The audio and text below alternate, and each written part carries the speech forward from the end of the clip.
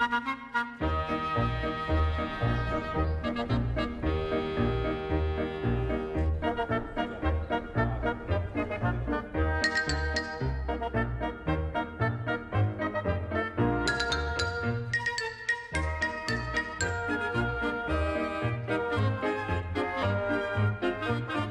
Vrees, foto-expressiegroep Gemert, exposeert in het eh, gebouw bij Molen de Volksvriend. Vanwaar deze plaats eigenlijk gekozen? Nou, er is in Gemert een eh, gebrek aan goede eh, expositieruimtes. we hadden een expositieruimte bij Kunst op Locatie in de Pandelaar, maar die is inmiddels gesloten omdat daar andere plannen voor zijn.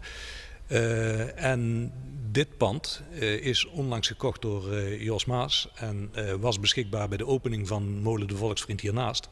En toen zag ik dat het aan de binnenkant eigenlijk een hele geschikte ruimte was om in te exposeren. En na een kort gesprek met Jos uh, mocht ik de sleutel op komen halen. Als je dan gaat kijken naar de foto's die hier hangen, um, van hoeveel deelnemers en wat voor foto's hangen er? Um, er hangt heel gevarieerd werk. We hebben niet echt een thema bij deze expositie, want dat doen we bijvoorbeeld wel uh, bij het, uh, in het Pinksterweekend met open atelierroute om de twee jaar. Uh, wat we nu gedaan hebben is de mensen de kans geven vrij werk neer te hangen. En dan zie je dus dat mensen heel verschillende belangstellingen hebben, heel verschillend soort foto's maken en uh, zich soms daar zelf ook echt in specialiseren.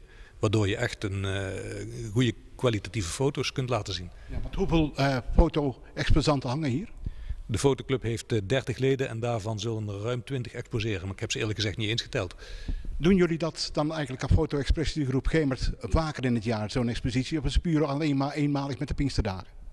Uh, we hebben een clubexpositie, dat is deze. En daarnaast uh, doen we mee aan de open atelierroute, die is om de twee jaar. Dus in, om de twee jaar hebben we twee exposities. Zou het wat zijn om deze ruimte eigenlijk uh, continu te bezetten met exposities voor Gemert Bakel? Fantastisch idee. Alleen ik heb er helaas niks over te zeggen, want dat is de eigenaar en dat is Jos Maas. maar ehm, het blijkt nou heel geschikt te zijn als expositieruimte. En dat het een beetje een, uh, dat het niet al te luxe is, is op zich geen probleem. Want ik kom op festivals in Nederland, fotofestivals. Die zitten in een oude uh, verlopen suikerfabriek. waar ze ook bouwwerken in geplaatst hebben. Want daar heb ik vanaf gekeken, daarom hebben wij het hier ook gedaan. Ziet er fantastisch uit. En daar exposeren mensen van wereldfaam. Dus eigenlijk uh, is het het gebouw een meter of vijf lager brengen. Dan zijn de molenaars tevreden van de volksvriend. En misschien uh, de, foto, de kunstenaars in Gemerbakel. Dit hoef je niet te beperken tot uh, fotografie. Je kunt hier een echt een hele mooie expositieruimte van maken voor Gemerse kunstenaars.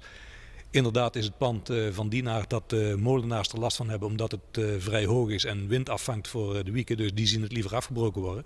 Veel Gemertenaren zien het ook liever afgebroken worden omdat het uh, ja, het oog niet. Hè. Het staat ook in de weg. Dus ik kan me er van alles bij voorstellen.